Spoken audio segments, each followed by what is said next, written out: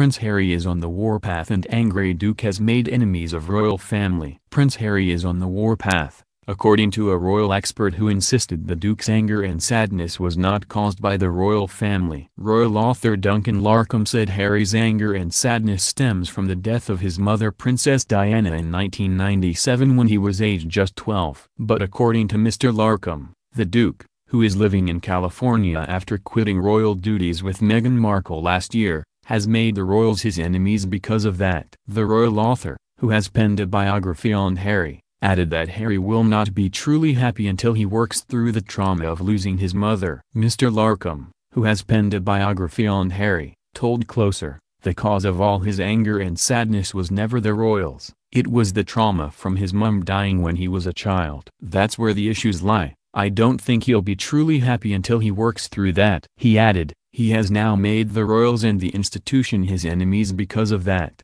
He's on the warpath. Mr. Larcombe's comments come after Harry compared life as a member of the royal family to a mixture between the Truman Show and being in a zoo in a recent podcast interview. The Duke also revealed as a young man he did not want to be a working royal, saying, I was in my early 20s and it was a case of, I don't want this job. I don't want to be here. I don't want to be doing this. And he appeared to suggest that his father Prince Charles and the Queen and the Duke of Edinburgh had failed as parents. The devastating comment came while the family is still mourning royal patriarch Prince Philip. Speaking on the Armchair Expert podcast, Harry insisted he wanted to break the cycle of genetic pain and suffering for the sake of his own children. He said, there is no blame. I don't think we should be pointing the finger or blaming anybody, but certainly when it comes to parenting, if I've experienced some form of pain or suffering because of the pain or suffering that perhaps my father or my parents had suffered, I'm going to make sure I break that cycle so that I don't pass it on.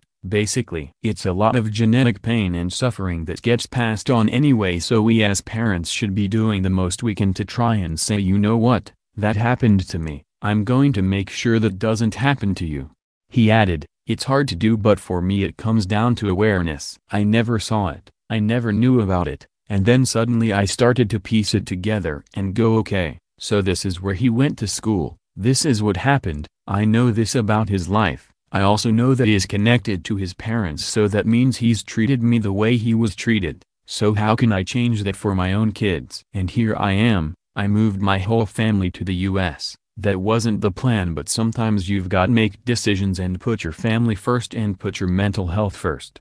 Harry's podcast appearance came just two months after he and Meghan made a set of damaging claims about their royal family in their controversial Oprah Winfrey interview. The TV interview plunged the ears into crisis in the wake of Megxit, and Harry is expected to speak out once again in a new documentary on mental health which he has teamed up with Winfrey for. The Duke and Duchess of Sussex quit as working royals in March 2020. They are now pursuing new lives of personal and financial freedom in America. Since ditching royal duties, they have signed lucrative deals with Netflix and Spotify to make shows and podcasts.